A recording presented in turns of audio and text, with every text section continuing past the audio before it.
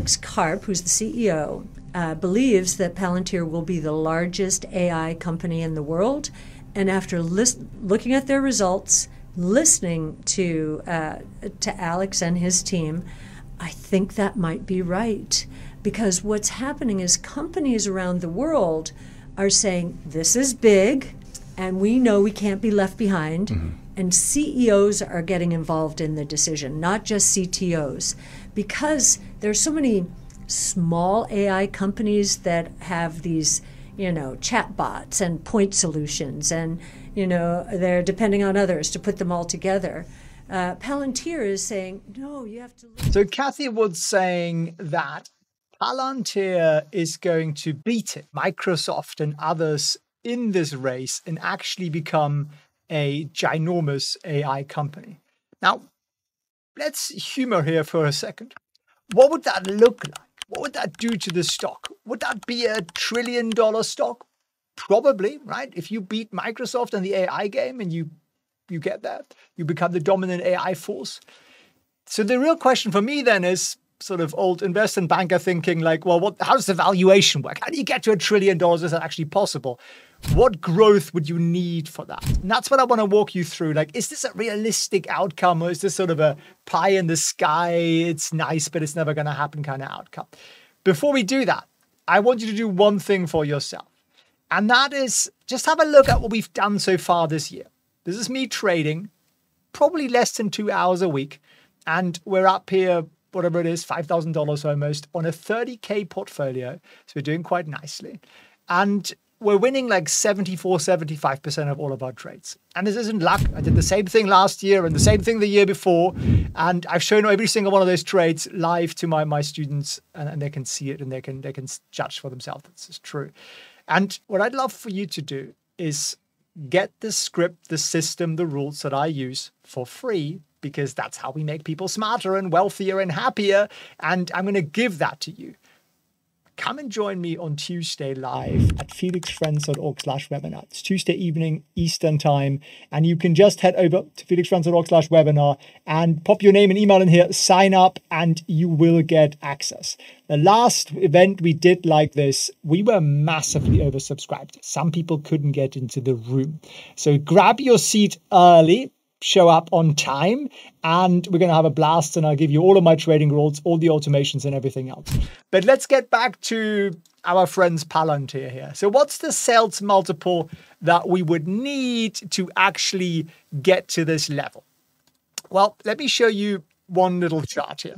First of all, like what is a sales multiple? Well, it's literally just how much is a company selling and how much the company worth. And that's the multiplier. So at the moment, 24 years worth of sales revenue is where we're valued.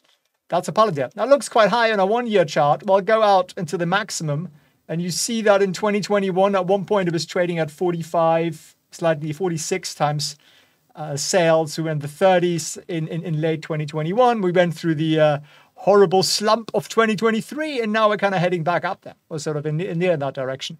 And you might be thinking, okay, so 24 times multiple we have. And I've made a little chart here for you. And I'm going to make this as big as possible so you can see it on the screen. We have at the top growth. Literally, how much is this company selling, growing by in terms of sales? And then on the side here, we've got price over sales multiple. And the current 24 how much do you need in terms of annual growth and revenue? At 41% here, that's one and a half billion, a trillion rather. We only need, need, need one trillion. So let's take that back to say 35% per year. Yeah, and you basically get to a trillion. Is that feasible? Can Palantir grow at 35% a year? Let me answer that for you. I know you know the answer. I've charted here Palantir's revenue growth since inception and if you just exclude the first three years or four years, because they were kind of bonkers, you know, 120, 148, you only get that at the very beginning of a business. Let's exclude those big years and then let's look at the average. Can you see that? 42%. It has actually historically grown more than what's needed to get to a trillion dollar, dollar multiple.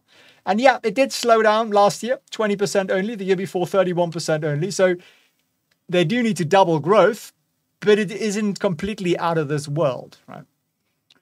Now, you might think though, and let's just play here the conservative game and say, okay, but you're not going to get a 24 times multiple down the road because established businesses don't work at such a multiple. Let me find Microsoft's PS ratio just so you can see that. It's uh, here's the same chart. If you look at Microsoft, 10 years, they were in the 14, now they're at 14 basically.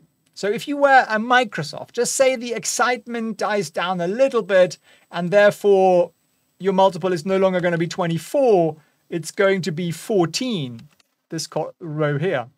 Now 35% gets you only to half a trillion. So what kind of growth would you need? What, 50% a year? Nope. Actually, you need less than that. would bring us to 1.6 trillion because it compounds, right? So 41%, I think that's no, 42%. We're looking at this cell here, more or less, 43% a year. And you get to $993 billion market cap, which is coincidentally the exact average of Palantir's growth if you exclude these bumper growth years here at the beginning, because I don't think you're going to get 145% growth. It's fairly unlikely. It's possible, I mean, NVIDIA and all that, but it's fairly unlikely, right? So is it impossible? No, I don't think so. I think it's possible. But at the same time, I don't want you to YOLO into this and go, well, this is the most amazing company. I've now, you know, given up Jesus and replaced it with Alex Karp. Like, don't go that far, please. It has very, very cool tech. And it looks like they're delivering. It looks like companies really love this. But also bear in mind, they're hardly charging those companies anything. They're just trying to convince them. It's like the drug dealer at the corner going, uh, would you like a bit of, you know, and then you take it and now you're an, an, addict and then you're going to have to go back and pay him every single day that's kind of the business model i'm not sure we should be going down the drug mule uh, route comparisons all that often on this channel the algorithm may not like it but uh, uh, who cares so what we really need to see is we need to see those sales numbers actually increase, or at least the number of onboarded clients increase. And we're starting to see that. But I would still be a little bit cautious here. And growth stocks take time, right? This is a business that was founded, was it 2008? I think it's been around for a while. And you might think, no, no, but Felix, I want to get rich by next year or something like that. Well, if you are less patient than you ought to be as a growth investor, then come and learn to trade. Trading still won't make you rich by Friday, but it'll potentially give you an income like in, in, in weeks rather than years. And I will literally teach you my three rules how we trade one stock. You can apply to any stock and how we automate all the exits, all the profit taking, all the risk management. And that's why we are consistent. It's not because I'm some sort of genius who finds amazing trades. Quite the opposite. I just have a really disciplined system that I automate because I know we can't trust the monkeys up in here. So let me know what you make of this. Put it down below in the comments. I think it's possible, but I do think it's the bull case. I think it's really like the outlier bull case. I think more realistic would be something between where we are now and, and that trillion dollars. And you know what? It doesn't need to be a trillion dollars to, to be a great investment potentially. So I, I, I wouldn't be upset if you know, the stock makes me 20% a year or something like that. I'd be very, very happy with that. I know some of you are hoping for more and, you know, let's hope we get there, but always be realistic, under expect, and then you get pleasantly surprised. And for the love of God and Alex Karp, obviously, please do diversify.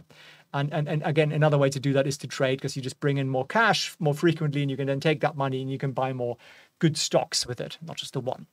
Um, so we lost, that's lost half the Palantir subscribers. So like Felix is no longer YOLOing all his money into Palantir. Um, no, that's not how I roll. Thank you for watching. Thanks for tuning in. Finger the various buttons we got on the screen. And I hope to see you on the next one. Take care. 74% gross profit margin. That again means there isn't some young whippersnapper going, I can do this much cheaper than you. No, there is. Otherwise, their margins wouldn't be what it is.